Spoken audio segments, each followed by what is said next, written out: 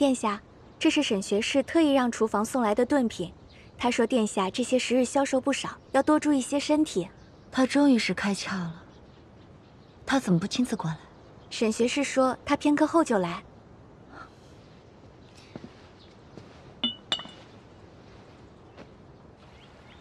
长公主让我来提人，把门打开。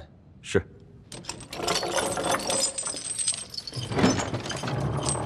先下去吧。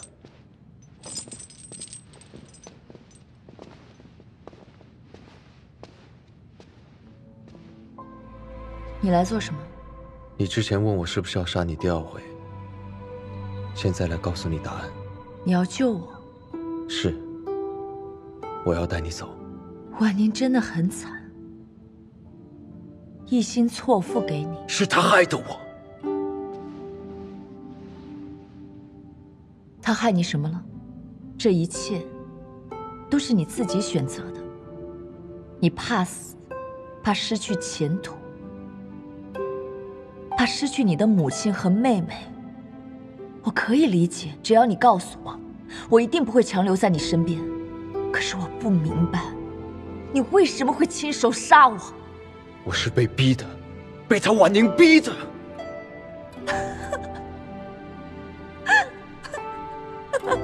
阿离，阿离，你别这样。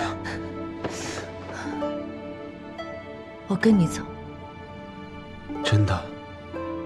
带我回你的家里。我很久没有去了，也想回去看看。好。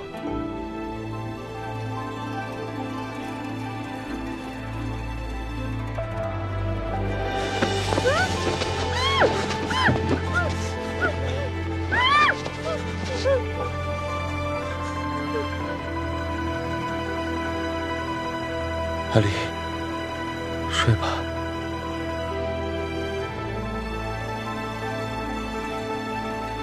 睡醒就好了。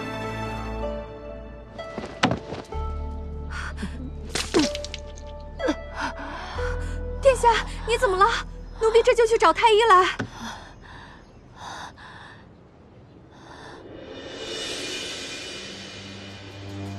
沈玉荣怎么还没来？奴婢这就叫人去找他。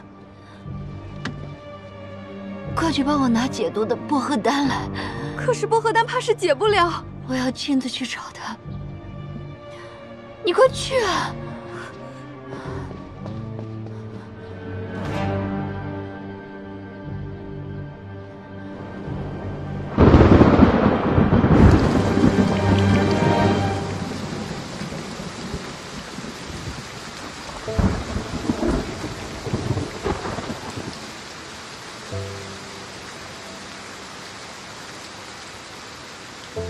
你去哪儿？为了救他，你要杀我？